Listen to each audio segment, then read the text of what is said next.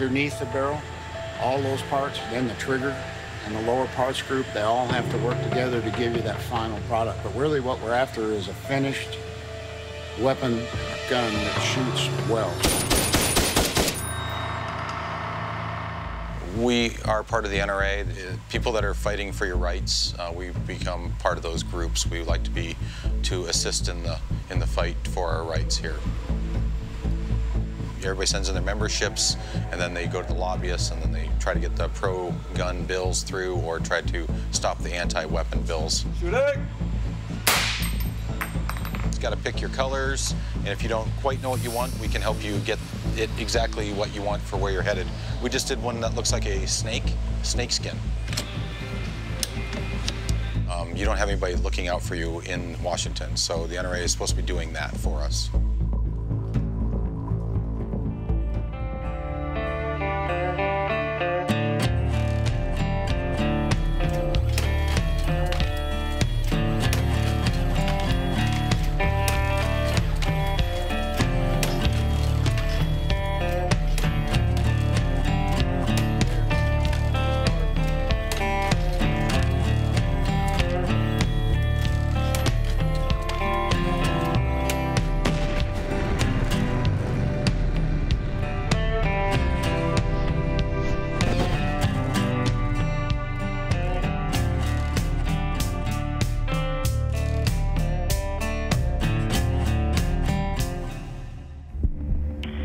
911, what is your emergency? Shooter, a shooter. Okay, okay is anybody injured? Yes, yes, a lot of blood. Please help, please. Okay, we're already starting the paramedics. Are you in a safe location to keep talking? I don't know. School. The school. The school. February 14th, 2018, Parkland, Florida. A 19-year-old student enters Marjory Stoneman Douglas High School armed with a legally purchased assault rifle.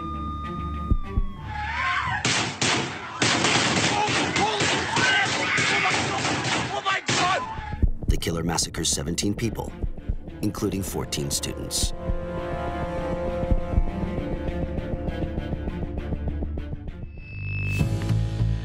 As you can imagine, it is a challenging, difficult morning. George is on the scene in Florida where another community is in disbelief, shocked by devastating violence.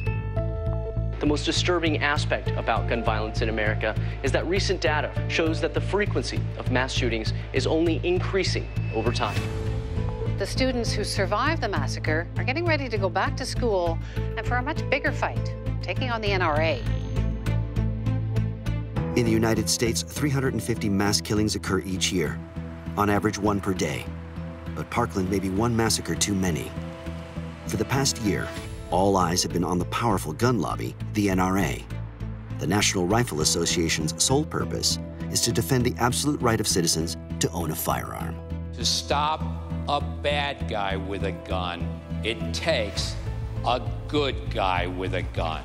The National Rifle Association is one of the most powerful political forces in America. It has a simple message. We have a constitutional right to own firearms, and nobody can take that away from us. The NRA weaves its web of influence from the backwoods of the United States all the way to the White House. If you had a teacher with who was adept at firearms. They could very well end the attack very quickly. The lobby seems untouchable and unbending. Its resources are unlimited, and its supporters resolute. There's over 5 million members uh, in the NRA today. Uh, they've gained more and more uh, power. Uh, a lot of the power, of course, is financial because they can support candidates uh, during elections. In Washington, we're the voice of the American gun owner. We're the voice of the Second Amendment. It's almost part of the American DNA. Uh, when you tell people that you're going to, well, now say we're going to abolish the Second Amendment, right, well, just good luck with that. How does the NRA manage to dictate the law in the United States? Who are these Americans willing to do anything to defend it? Since the Parkland massacre, war has been declared between the organization and the young survivors who have become its most vocal opponents. Every politician taking donations from the NRA, shame on you. But the NRA has taken up arms determined not to yield an inch. Students from Parkland really coming out in force as a new political movement that we have never seen before, um, marching on Washington, um, lobbying their elected officials. They're going up against history that hasn't been on their side at the polls, and they're going up against a dedicated group of people uh, in the NRA that they've fought this battle before. Um, as tragic as it is, the kids that are coming out of Parkland are, they're new to this political fight. And the NRA has been fighting, and gun rights advocates have been fighting this battle for a long time.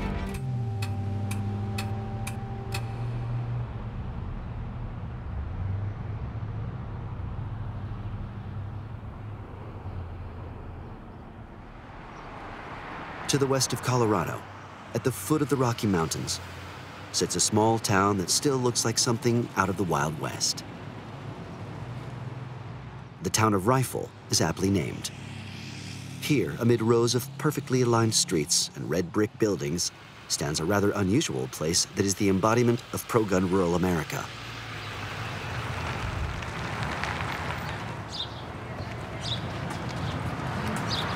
A saloon?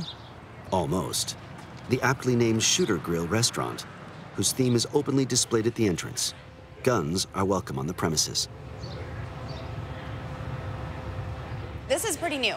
Um, so I've had this one, um, gosh, maybe two months. I carried my uh, 43 for quite a while. Um, I really like that one, but then this one is a double stack, so I, I like that. And I know how to land it, so I don't need to jump out. 32-year-old Lauren Boebert is the That owner. gives you the Hunter Burger. There you go, sir. Like all the waitresses, she has a 9mm semi-automatic pistol slung around her waist. In a restaurant where John Wayne and collector's weapons sit side by side, and Jesus is surrounded by bullets, nothing is surprising. Shooter's Grill is an open carry restaurant. Uh, my wait staff and myself, we all carry firearms to work, and they are loaded, they are real. We all practice, we all train, we are efficient with our firearms. Um, we practice safety with them.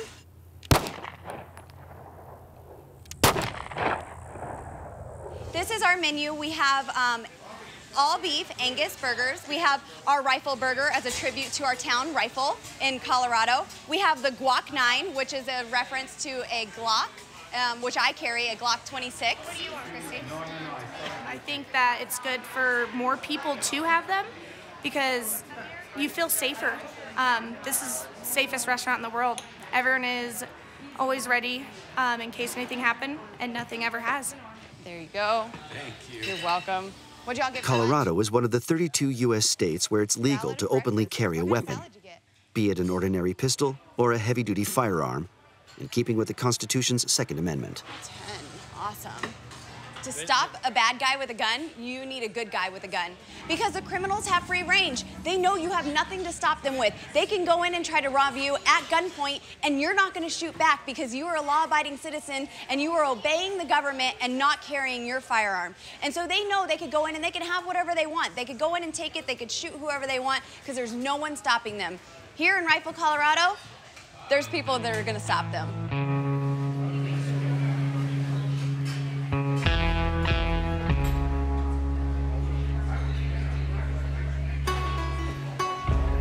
For Lauren, who has always lived in Colorado, firearms are a way to protect her, her family, and her four children.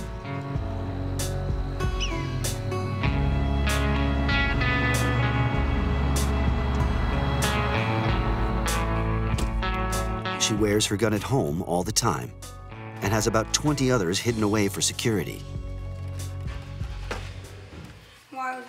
This right is conferred on her by the American Constitution and ardently defended by the NRA, an organization of which Lauren is a life member. Snake is so cool. We um did, we drew it first, then we painted it. Um, And I, I like that because there's a lot of transparency. The NRA wants us to know what they're doing. They want us to know what they're fighting for, what gun control topic is on the table today, and they want to let us know how they're fighting for us.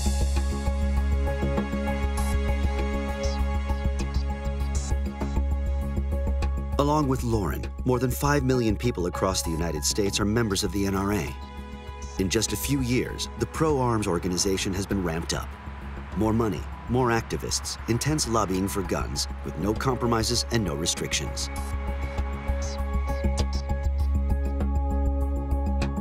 Yet when it was founded in 1871, the NRA was just a hunting and shooting club founded by a couple of American Civil War soldiers for a century, its objectives were to promote the practice of shooting and defend hunters.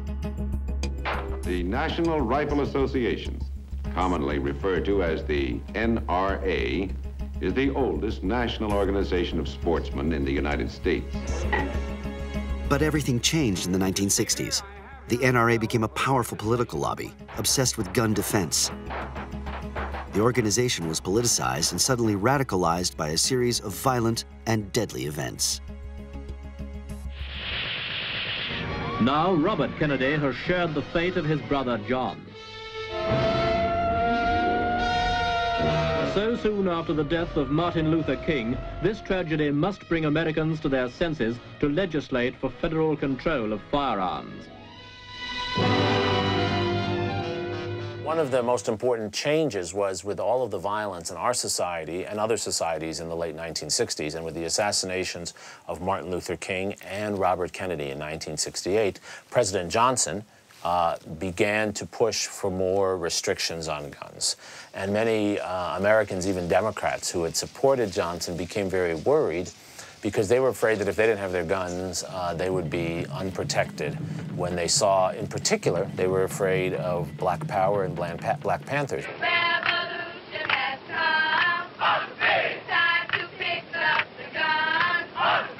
Effective crime control remains, in my judgment, effective gun control. The NRA felt the winds of change there was a small group of members of the NRA that believed that uh, gun rights were about to be curtailed um, dramatically, and there were these conversations about gun rights. And they decided to rise up within the NRA, and they effectively took over the entire organization. It went from a moderate, um, less powerful group of sportsmen uh, to a very staunch conservative organization, 100% focused on the idea of ensuring that the right of an individual to own a gun would not be curtailed at all. To legitimize its struggle, the NRA cited the famous Second Amendment of the American Constitution. Written in 1787 by the Founding Fathers, it is today at the center of all debates. We believe in our country. We believe in our Bill of Rights. And we believe in our Second Amendment to the United States Constitution, all of our Second Amendment, because we believe in the freedom and the safety, and that it, and it alone, guarantees absolutely our freedom and our safety.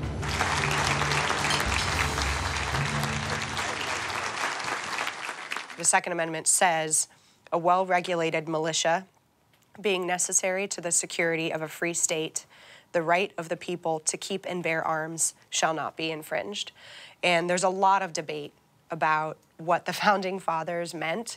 Does it mean people have the right to join together to ensure that the government isn't um, acting as a dictatorship? Or does it mean every single person has the right to have a gun on them at all times, no matter where they are? There are two insights, though. The existence of the amendment shows that the founders assumed we would have guns. And the second is they assumed that there would be some limits because it does not say in the way the First Amendment does, you can have free speech all the time. It does not say you have a right to guns in all places in the way we say you have a right to speak in all places. So they did expect there would be some limits. And so what we argue over in our society is what should those limits be? He hollered, the British are coming. Grab your guns, boys, and come running. What I think sometimes people miss is that uh, when it was written, the weapons, um, the right to bear arms, those arms were muskets. They were uh, weapons that uh, maybe in a best case scenario, you could get off three shots in a minute if you were an expert. Um, so at that time, mass shootings were impossible because there were not weapons that uh, would make someone capable. We start in Virginia, where hundreds demonstrated outside the NRA headquarters this afternoon. Protesters blame the National Rifle Association for helping to block gun control laws. This is one of several gun reform rallies Parkland students have participated in over the past few months, and they say the youth movement will not be going away. For the high school students rescued from Parkland High School, the road to reform is a long one. The NRA and its members are a tough bunch, and the Second Amendment seems unshakable.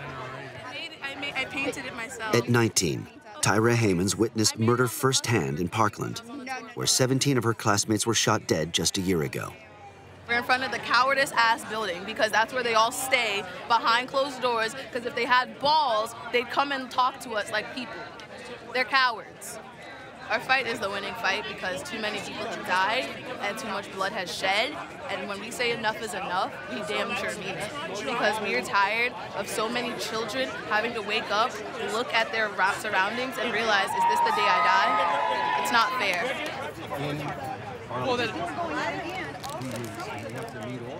In this state, this particular state, it says I'm permitted to open carry this as long as I'm not a felon, I'm not a criminal of some sort, which I am not. More people are beaten to death with baseball bats and are killed with something like this. So I would be more worried about that than me carrying this. Because I'm just minding my own business. Oh, I'm so sorry. Ouches. Sure? Y'all, anybody want They don't want my flowers now. They, they want their guns, but they don't want my flowers. This fight's going to be long, but it's just about making sure that we're here with love and positivity to make sure that people know that what we're fighting for. And what we're fighting for is just that more kids can survive high school and more kids can go on to grow up and do what they want in this world instead of fearing a bullet. In a country where more than one in three people are armed, some will dismiss these youngsters as dreamers or utopians. In the United States, more than 300 million firearms are in legal circulation. That's half of all civilian weapons in the entire world. Alan lives in the Colorado mountains, and he's not about to down weapons just yet. He's a member of the NRA and likes nothing more than a large caliber gun. Let's put the dot on, that would be helpful, right? So I can hit some, so. That's me doubling the gun. Now if I put it on full auto, let's make sure my earplugs are completely seated.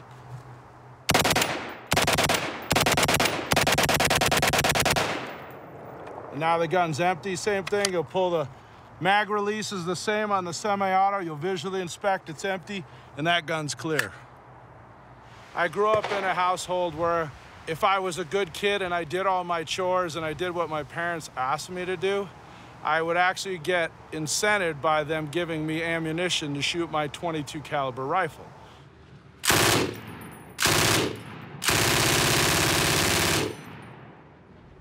Honestly, the, the main thing I worry about is that someone is going to endanger myself or my family or my friends.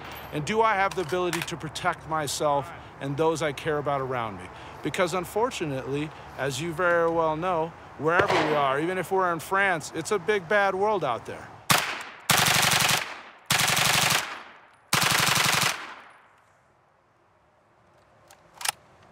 All right, we're out. Let's go ahead. Every morning, Alan comes to the foot of the mountains to hone his shooting position, adjust his aim, and test new weapons. In his spare time, Alan is even a shooting instructor for the NRA. He paid $1,500 for his lifetime membership. Still doesn't like it. We need someone who defends our rights at that level. If we didn't have that group out there actively lobbying to protect our rights, who would we have? Honestly, it's how we earned our freedom from the British. I mean, it's, uh, if we didn't have the Second Amendment and we weren't armed, I don't know how we would have rebelled against the British to gain our own sovereign nation. It's just as important today because if we look at tyranny around the world today, when a government disarms the populace and the government then does bad things to the populace, what does the populace have to do to respond?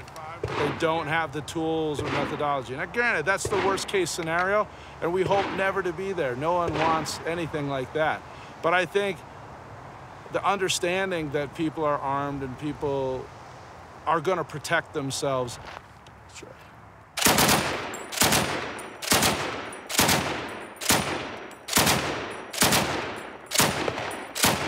Looks like it's working.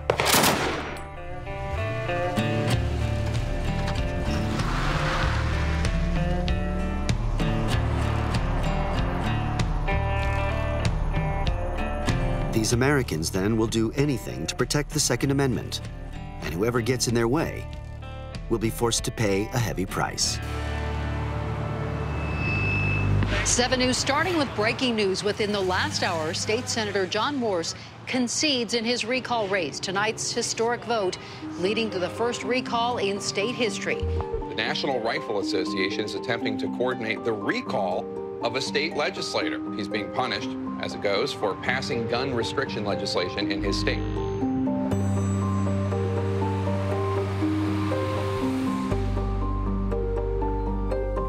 In 2013, while serving as Speaker of the Colorado Senate, Democrat John Morse invoked the wrath of the NRA for the crime of daring to propose a law limiting the sales of heavy duty assault rifles. The organization retaliated by initiating a popular referendum against him and securing his dismissal. In December of that same 2012, Newtown happened, and we had um, nearly two dozen people killed there, most of them six and seven year old children.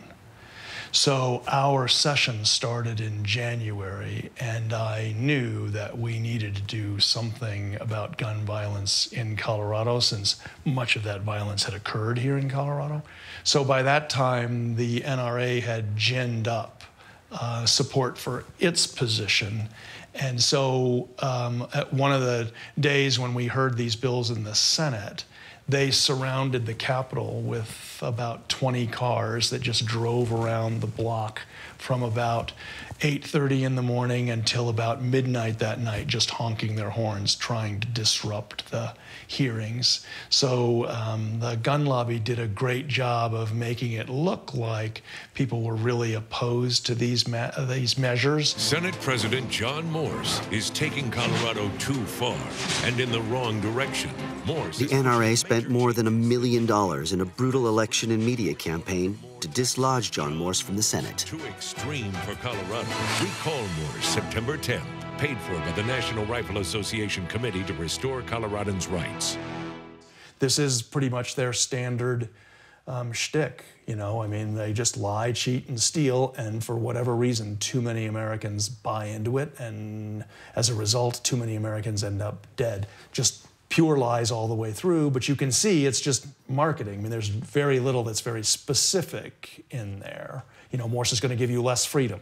How is that even possible? After a career in the police and in politics, now 65, John Morse is a certified public accountant in Denver. From his hushed office, far from the Senate, year after year, he sees the NRA win over the American electorate. You know, my biggest disappointment in losing was that it sent a very clear message to elected officials around the country that if you do anything, even if it's just common sense gun safety, we took out the president of the Colorado State Senate. We can take you out too. And it has worked. Um, there hasn't been much in the way of gun law changes in the entire country since what we did. Uh, and we did barely anything. And the fact that it actually costs human lives and we're willing to pay that cost, I mean, it makes me ashamed, very ashamed, to be an American at this point in time.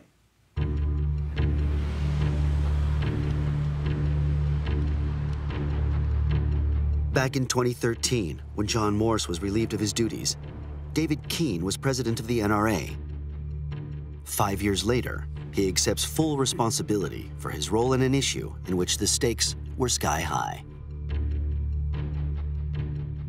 We went, I went out there and lobbied against it, uh, as did every other gun organization in Second Amendment. That was very important in that, in that whole battle that was going on uh, because you could almost hear state house doors all over the country closing, uh, where they were saying, oh no, it's not, something that we ought to be looking at because the fact is that there are consequences to to taking to passing legislation that uh, that really riles up your constituency. It was political revenge and the demonstration that if you if you go against the Second Amendment, there's a price to be paid.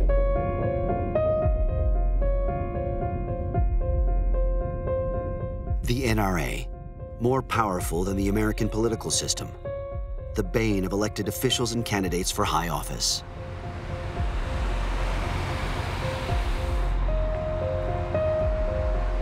In Texas, a conservative state where support for the Second Amendment is high, resistance to the gun lobby is slowly becoming organized. A few weeks before the 2018 midterm elections, a debate on gun violence was held in Austin. Hey, I'm Steve. Nice to meet you. Nice to meet you. Thanks for coming. Former soldier and fierce opponent of the NRA, Stephen Kling is a local hero and the Democratic Party's candidate for the Senate. No, no, no. I was one doing the. Oh, I was gonna say, where's Chili? He's right He's here. here, he's here. Hey, buddy. Good to see you. Good to see you, buddy. Despite the pressure on elected officials from lobbyists, Kling made confrontation with the NRA the pillar of his election campaign. Uh, the NRA is really just a lobbying organization for the firearms industry. They make billions and billions of dollars. In this, the United States, a very unique and open market to where nothing's traceable. Uh, that makes the United States, it's one reason the United States is the foremost exporter of weapons, both legally and illegally, and I would stress the latter. I care about moral clarity, and I care about making sure that we give a voice to the people that haven't had one. If the NRA wants to come in here and challenge me, I'll take that challenge any day. There's two halves to the Second Amendment. Alongside Stephen Kling are a former police officer, a victim, a survivor, municipal officials, and association chairmen. All of them committed to fighting the scourge of gun violence. In the United States, more than 36,000 people are killed every year by firearms. Two thirds are suicides, one third are homicides. In 2016, 120 kids under the age of 17 were killed and 175 were injured. Oh, Despite these tragedies, the federal law does not change in the United States. In most states, buying a weapon from a store is allowed at the age of 18, and the buyer never needs to demonstrate that he knows how to use it. To maintain a legislation that many consider too permissive, the NRA does not just put pressure on the nation's elected officials, it invests huge sums of money in election campaigns, spending millions of dollars trying to ensure that nothing changes. So this is a picture of the incumbent, uh, Senator Donna Campbell. She's chosen not to be here today. She felt like this wasn't a, uh, a friendly forum. We tried to give her assurances that we would be respectful and uh, that we would listen to all sides of this issue. Her position isn't really, well, she doesn't really have a position. She defers to the NRA for her position. Uh, and that I think is part of the problem, is they there's their heavy-handed tactics when it comes to uh, our elections by pouring money into them uh, and overwhelming the other side of the argument with, with money, oftentimes foreign money, uh, is, is a big part of the problem and why our, legis- our gun legislations don't reflect the popular will.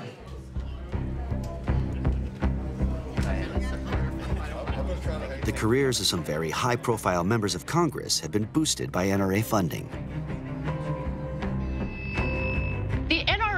Spends a considerable amount of its resources in influencing our lawmakers in order to prevent them from passing or even proposing gun legislation.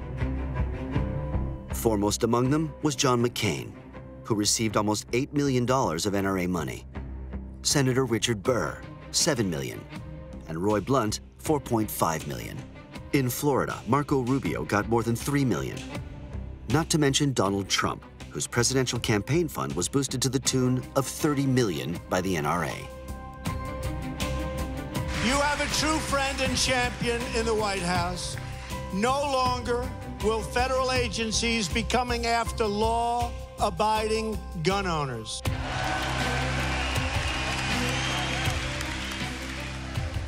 More surprisingly, the NRA has established a scoring system for elected officials based on their dedication to the gun cause. School-like grades are attributed in the form of letters, and they have a powerful impact on elections. The NRA does rate uh, political candidates and elected officials on a scale that we rate our school children on. So A is good, F is bad, and all of the major candidates will get an NRA rating. What they often do is they take um, all the speeches that the, the person running for office has done, they have people that work for them at the NRA, and they scanned all of the speeches, and of course you can do this on computers as well, for any type of comments that might seem negative. And, uh, you know, just a few negative comments is enough to, you know, basically uh, push their button and they go after you. So, um, you know, typically if you want an A plus, you have to basically, you know, bow down to the NRA. You have to basically come out in, you know, in favor of the Second Amendment without any types of uh, restrictions. But I want to say at the outset that from the remarks you just heard, this is a guy that gets it. No, thank you, David.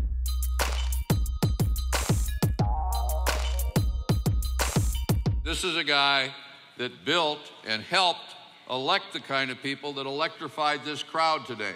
You need great mechanics and you need great candidates. You need them both. Thank you very much. God bless you. We probably uh, endorse about 1,400 candidates uh, each year at, the, at various levels. If you have an incumbent who's an A-rated uh, office holder and a challenger who's A-rated, then the incumbent gets the advantage because his record is real because he didn't just talk, he or she didn't talk, they actually voted on it.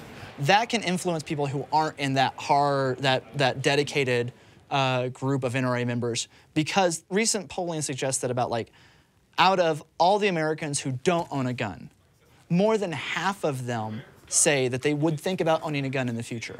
So when the NRA comes out and says, you know, don't vote for this candidate, because they're anti-gun or vote for this candidate because they're pro-gun. They can send signals to people that even though they don't own guns, they might feel ambivalent about guns themselves.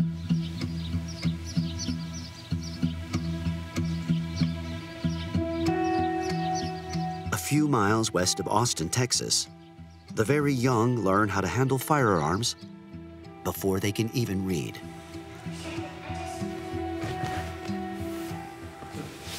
That's me shoot shooting. That's you shooting when you that was your first time when you were four, right? Yes.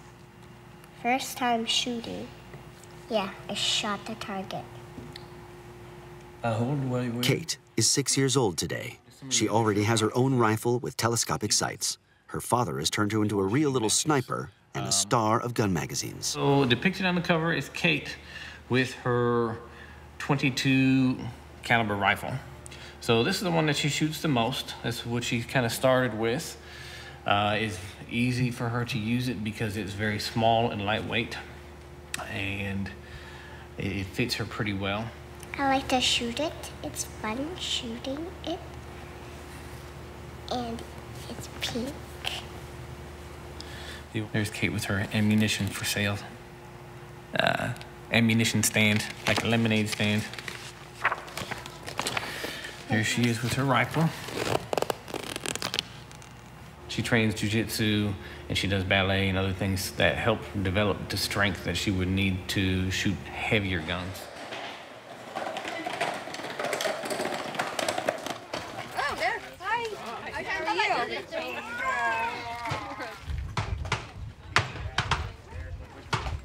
This Sunday, no martial arts or dance classes for young Kate. She's out with friends, firing off a few rounds in the Texan desert, where it's 40 degrees in the shade.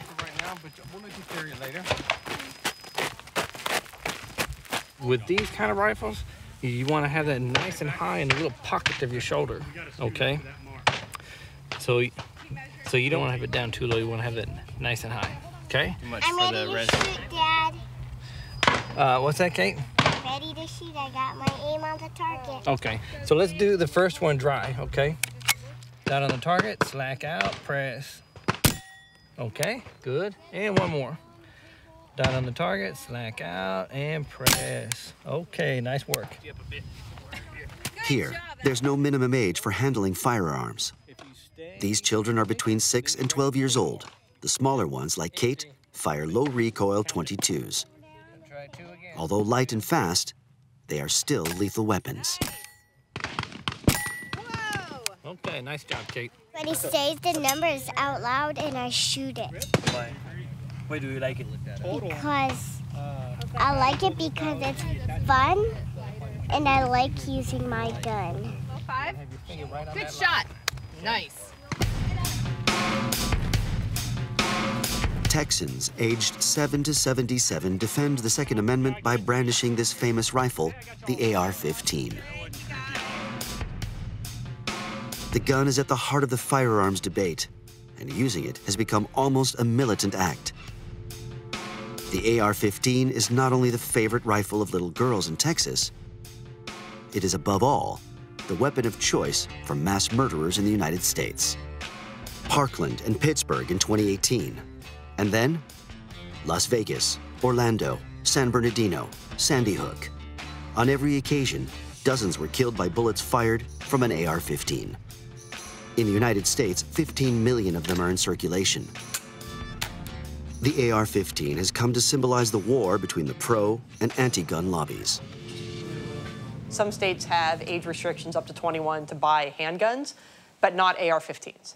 And so you can buy an AR 15 legally when you're 18. Uh, again, all you can do, you don't have to show any ability to be able to use it. You don't have to show you know, any sort of real mental competency. You know, you, you, there's no waiting period to get one either. Walked out with a AR-15 and 100 rounds of ammunition. 20 minutes later, that same guy, he can't go buy a six-pack of beer.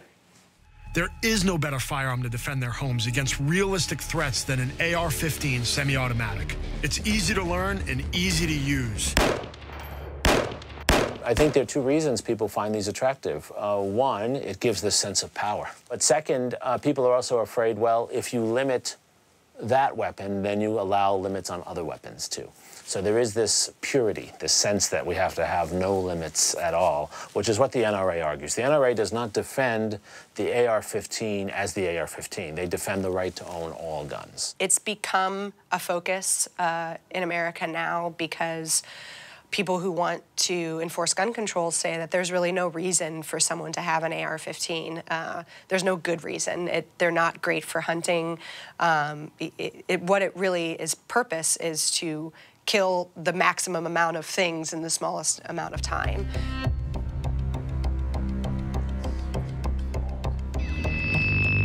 In total, the gun industry is estimated to have gifted between $19 million and $60 million to the NRA. That's an estimate because there are no official figures. But in return for those donations, the gun industry gets a powerful defender in the NRA. The NRA is funded primarily by the arms industry, with members of the organization contributing annually. Like Aaron's company, many manufacturers donate some of their sales to the lobby.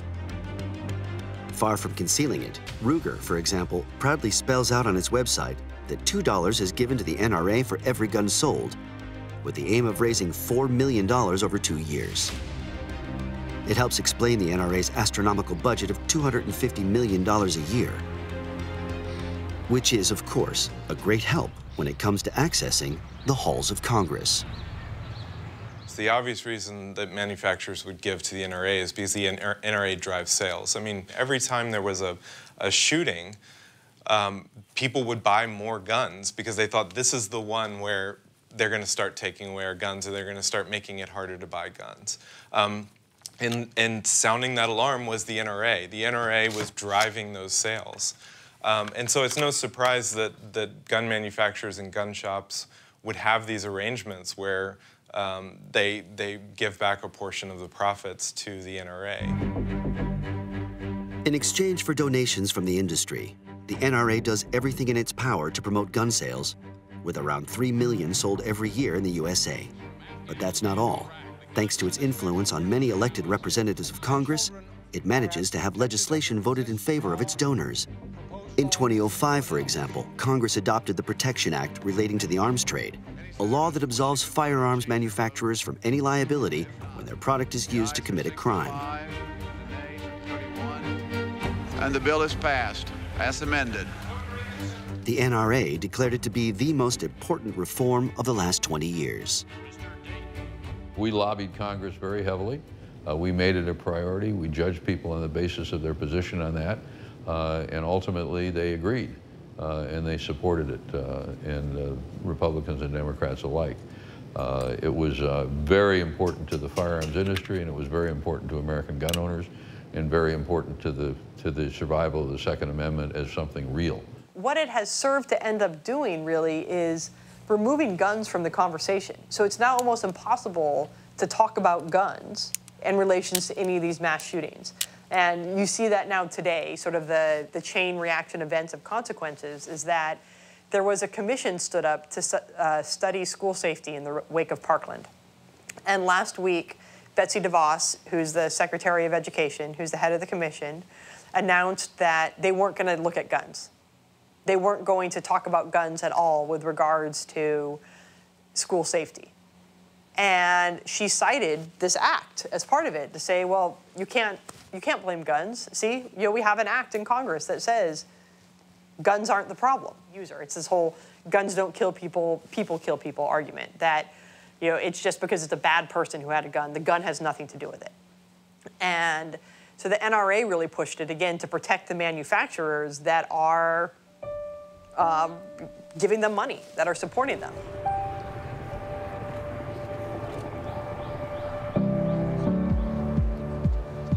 The NRA sets the agenda. It has made the gun a sacred, untouchable item. So the young opponents of the lobby struggle little by little. Like 60% of Americans, they want a framework for gun sales, a check on a buyer's criminal record, and a ban on the sale of assault rifles to anyone under the age of 21. Martin Benitez Torres. Shane Evan Tomlinson. Jonathan A. Camuy Vega, and Juan Pablo Rivera Velasquez. Today, in the Capitol, the leaders of the student movement, some of them Parkland survivors, proclaim their discontent in the vicinity of Congress. I am tired of politicians who shut down gun reform before actually sitting down and having this discussion. I am tired of NRA leadership, good Lord help them, mocking gun violence awareness and bashing young people who are changing the world. Marcel McClinton is one of the leaders of the NRA opposition movement. To challenge members of Congress, he organizes what these young people call a die-in a reconstruction of the massacre in Washington. So a die-in is just a mass of bodies. Just you lay down and you make a mess, so no one else can walk over you or cross where you're going. Um, and it's at the West Lawn of the Capitol Building, which is a clear shot of the Capitol. They take so much money from the NRA. They don't care about what we believe. They only care about the money. And and they speak on behalf of how many dollars they get, um, and not on behalf of what we want, what we say that we want. So they're all sellouts. At his side is Tyra, the Parkland survivor. Since the tragedy, she has attended countless meetings, demonstrations, and speeches all over the country. It's impossible to forget what happened. I lost my best friends. Ever since that day, not being able to call your best friend the day of a shooting to talk to someone scarred me because it wasn't fair. We were three months away from graduating high school and just going to college just to be a regular American. But it took one person to change my life forever in a matter of six minutes. If it could take someone six minutes to, to change my life, it should take them two seconds to change the world.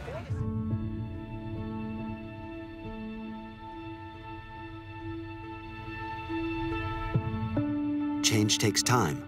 But for Marcel McClinton, whose life was rocked two years ago, this is just the beginning of the fight. Back to Texas, Every time he walks past this church in Houston, Marcel thinks back to the day he escaped a shootout when he was just 13 years old. Two years ago, um, at my church, I mean, there was a shooter on, on the campus. Um, he was outside of the parking lot, and um, I mean, he killed, I think, just one person, but injured six. And I want to say he shot two police officers uh, with AR-15. The sounds don't get out of your head, and um, so that's, you know, what at that time, again, I didn't get into gun reform activism. I didn't think anything of it. It's disgusting as a country, as we call ourselves the leading country in the world, and yet we kill most of our people. And I say we kill our people because our politicians are the ones doing nothing about it.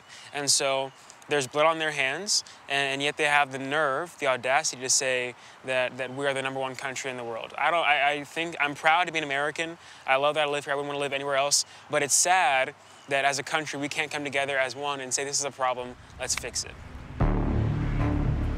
Reforms are hard to achieve, especially in a pro-gun lobby stronghold like Texas. It's no coincidence that the NRA chose Dallas for its 2018 annual convention. 80,000 firearm fanatics gathered to back the lobby, along with guest of honor, Donald Trump. The president, in his element and totally uninhibited, showed his unstinting support for the NRA and argues for the carrying of weapons using the 2015 Paris attacks as justification.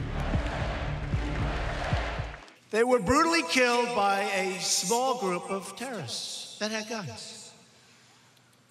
They took their time and gunned them down one by one. Boom, come over here. Boom, come over here. Boom.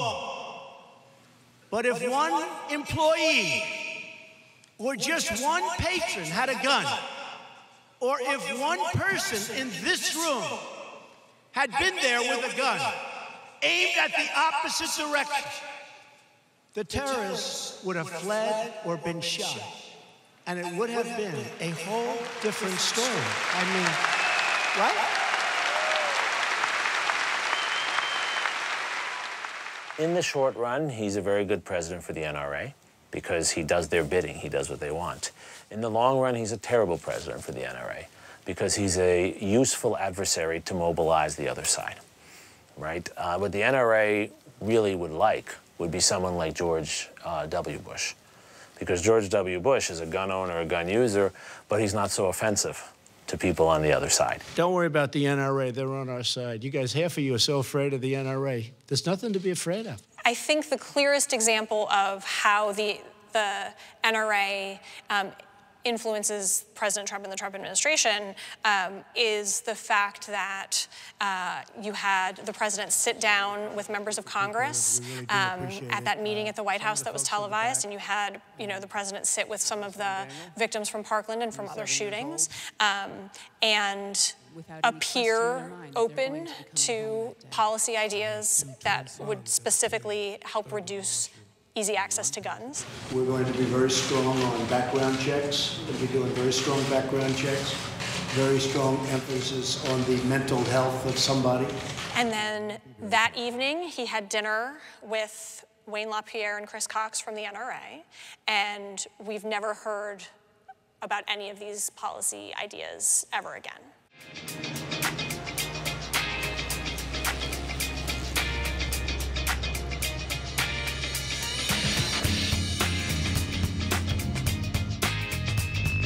Students at the Florida high school that was the site of a mass shooting are taking a road trip for change.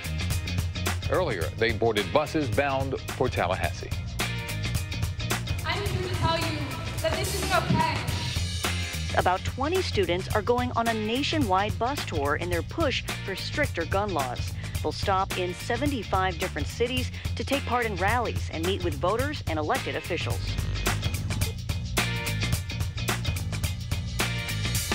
Those politicians who do not support a student's right to attend school without the fear of being gunned down will feel the power of our votes.